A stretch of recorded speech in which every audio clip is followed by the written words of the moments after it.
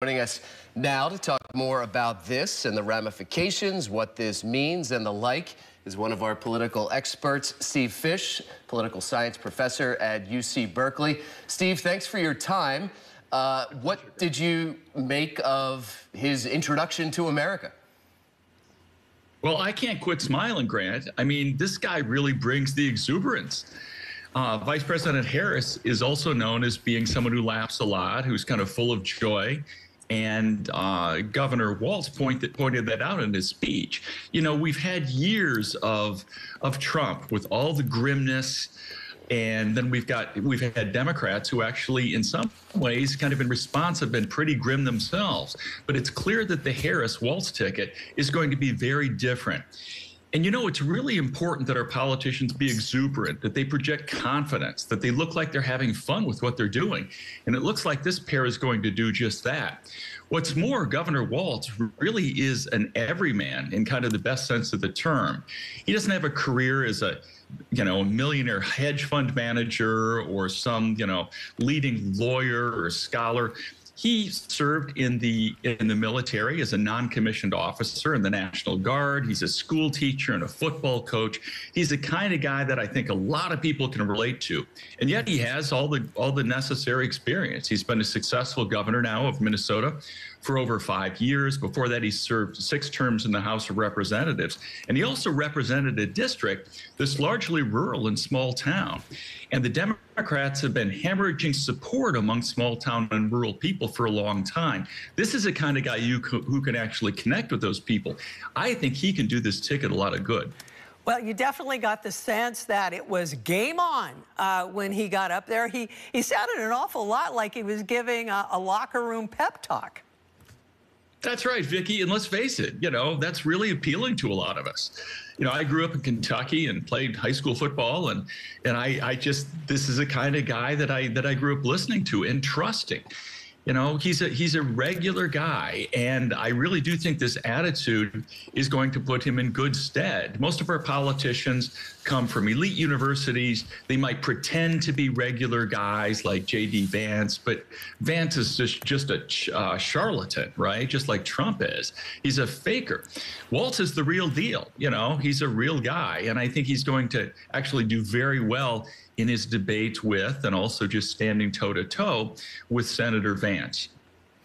Josh Shapiro, the governor of Pennsylvania, seemed to be the runner up to be Harris's vice president. Uh, I don't know if you heard him uh, speak before Harris and Walz did at uh, the, the arena there in Philadelphia. Obviously, uh, Pennsylvania, one of the key battleground states. Do you think it's risky to have not gone with Shapiro? No, I think that actually Walz was a much better and a safer choice. I think Governor Shapiro has many, many good qualities and many advantages. But first of all, he doesn't have that much experience. He's only been governor for about a year and a half. Uh, much less experience than than uh, than Governor Walz has. What's more, I think Governor Shapiro in some ways he looks like that that guy who's kind of trying too hard. He he's nakedly ambitious. You can really see it. Uh, what's more, he, he looks and sounds so much like Obama when he's giving speeches that I think it strikes a lot of people as is rather funny. Um, again, many good qualities, very smart guy, but I don't think he's nearly as relatable as Governor Walz is. And so I think for those reasons uh, that uh, Vice President Harris made the right, the right choice. I might also add that uh, Governor Shapiro has been, you know, he, he's going to carry the same baggage on Israel Gaza that uh, that that President Biden did. You know, he's very staunchly uh, pro-Israel in this in in this conflict. He has a long history of saying and doing things that suggest that he's really doesn't have much much sympathy for the Palestinians. That could be a problem with especially young progressive voters, and in fact, that dragged down their support for President Biden. I don't think uh, Governor Walz brings that baggage. So I think that for many reasons, Vice President Harris really made a smart choice with Governor Walz. You alluded to this, Steve. Uh, Shapiro is Jewish, and you know there had been talk that maybe Harris goes with Shapiro to go all in on trying to get the centrist vote to kind of say, you know, we don't need the progressive vote. Uh, Shapiro obviously is supporting this ticket and gave uh, a speech that some might say was rousing. You said he reminds you of Obama uh, in terms of his skills as an orator. Uh, do you think that Pennsylvania can go blue, and, and how key is that state? Pennsylvania's key, and it absolutely can, and I think it will go blue. And I think Governor Walz actually helps with that. You know, he himself is a North Midwesterner. I think he's the kind of guy who's really going to appeal to the constituencies in Pennsylvania, as well as in Michigan, Wisconsin, who the Democrats absolutely need. They include a lot of white working class voters who I think are going to find uh, Governor Walz actually very relatable. And look, I mean, his background is very much like theirs. And, you know, I think the Governor Shapiro is you know, his background is not really like theirs. He might appeal to them, but in some ways, he's really, you know, more more of you know more from the elites himself in terms of his education his personal background and indeed his personal style. I really do think again the governor walz is going to be the kind of guy who's going to be able to appeal to especially the kind of working class voters who are going to be necessary to win over Pennsylvania, Michigan, and Wisconsin, which are much win, must win states for the Democrats. Well, this is a matter of we saw the personality, uh, then, you know, but it, there is also the policy uh, beneath it. Already, uh, they're going after Walz uh, on the right, calling him a, a wolf in sheep's clothing. Um, they're tying him to, you know, liberal socialist policies. Um, he has been described as a, a uh, oh gosh, a popular, wait, a populist progressive. Mm. Is that accurate? Well, I think he is a wolf in sheep's clothing. I, th- I, think he looks like a really nice guy, but I think that he's got very sharp teeth. And we've seen this. You know, we've seen him go after Trump with verve and humor and a cutting, eviscerating wit that we haven't seen from the other vice presidential contenders. I think he really is a wolf. The sheep's clothing is just that he he seems to be a regular guy. He is progressive, but you know, he, he his whole style is not that of the kind of crazy California, you know, Bay Area progressive. It's quite the opposite. Sure, I mean, he's in favor of free school lunches for kids. Sure, he's in favor of you know uh, rich folks paying their their fair share, and he's in favor of defending uh, Obamacare, you know, the Affordable Care Act. These are progressive measures, but you know, any popular candidate who's going to rouse the base in the Democratic Party has to be at least reasonably progressive. The great thing about Governor Walz is he is a progressive, but he doesn't come off as a kind of elitist coastal progressive. He comes off as a heartland, uh, kind of old-fashioned, maybe you know, prairie populist, and that's mm. not at all a bad thing for the Democratic Party to have. This race has been, in every sense, kind of stunning. If you go back a month or so, you know, Trump gets shot in the ear, and then a, a week later, Biden bows out, and then it's Harris anointed almost immediately, and now she has a VP. How do you see the next, what, 91 days until Election Day going? Well, you know, I think actually Harris and Walz can win this big.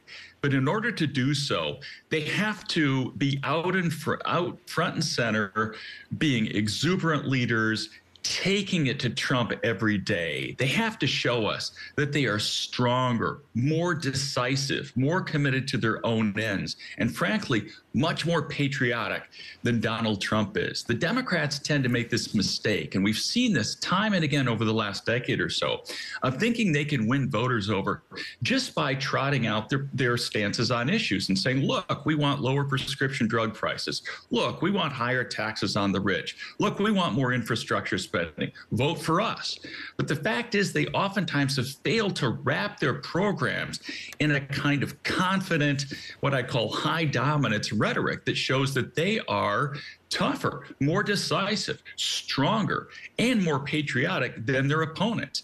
If Walz and Harris can do that, if they can wrap their progressive programs in this broader narrative about making America everything it can be, much the way John Kennedy did, much the way that Franklin Roosevelt did in the 20th century, I think they can win and they can win big. That means taking some risks. It means actually, you know, thinking outside the usual box that Democrats have operated in for the last decade or so. But if they do that, I think this election won't even be close. And what's going to happen is not only will they just squeak by President Trump, uh, former President Trump, prevent him from becoming President Trump again, but they will actually deal a real blow to Trumpism itself. Because if they win fairly big, and if the Democrats are able to take back the House and perhaps hold on to the Senate as well, Trumpism itself, this whole threat to democracy, will undergo a mortal blow. And this is precisely what the Democrats should be aiming for, not just squeaking by on the Republicans' abortion bans and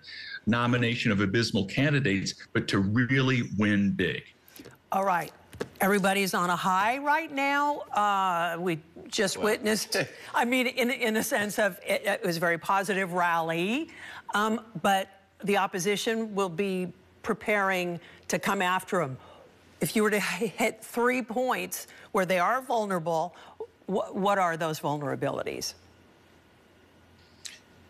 Well, Vicki, I suppose that, you know, the fact that Vice President Harris is a Bay Area progressive uh, is possibly a problem, but she can counter that easily with a narrative that casts herself as a badass prosecutor against Trump, the felon but she has to stick with that narrative. She can't back down from that. That actually would be her counter to that.